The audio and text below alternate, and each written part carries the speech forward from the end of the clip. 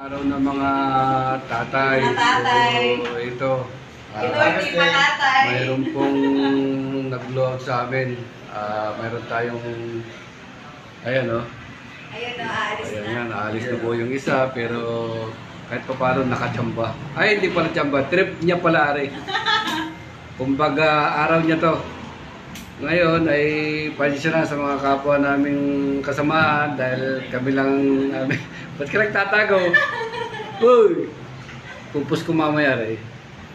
Ah, yan, yan. Yung ating ano dyan, isang kasama na puging-pugi.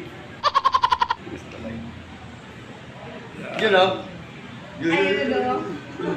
Last day. Ay po, Happy Father's Day sa mga tatay. Happy Father's Day. Yan. Yan po ang ating isang sponsor. Mm.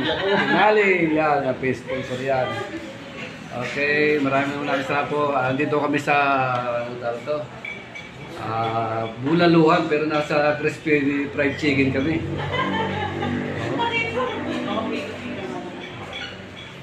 Ito, kung makikita nyo, ayan. Mm-hmm. Oo, ayan, ayan. 360 camera na lang ako.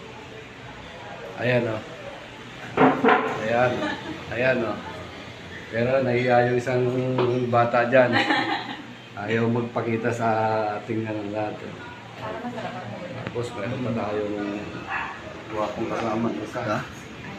So? Ito, kung nakikilala niyo to, medyo um, gwapong lalaki din. Ito ang aming pinaka-boss. Katulong lang po talaga. Manager namin niya, manager. Kaya lalo kaming dumidikit dyan kasi pag wala yan, walang papakain sa amin. Yes! Ayan. Okay.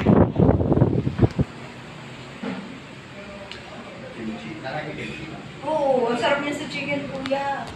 Sa ano,